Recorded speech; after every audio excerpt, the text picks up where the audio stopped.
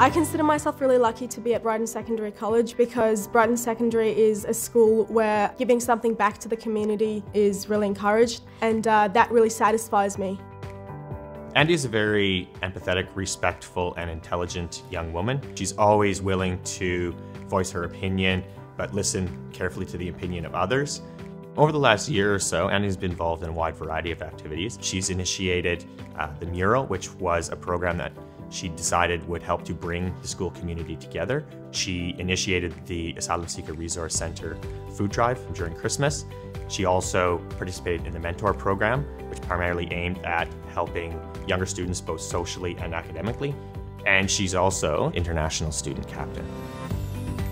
Australia is one of the most multicultural countries in the world and it's one of the most accepting places being in Victoria has helped me realise the passion that I have for writing.